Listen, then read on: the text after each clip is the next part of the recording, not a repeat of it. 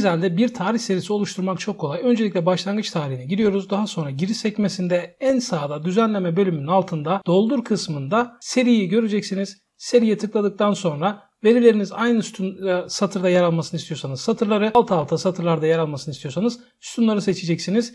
Adım değeri 1 olacak. Birer gün artacağı için en son tarihi buraya giriyorum. 31.12.2021. İş günlerini istiyorsam eğer iş günü, günleri istiyorsam günü seçiyorum. Gördüğünüz gibi bütün tarihler buraya geliyor.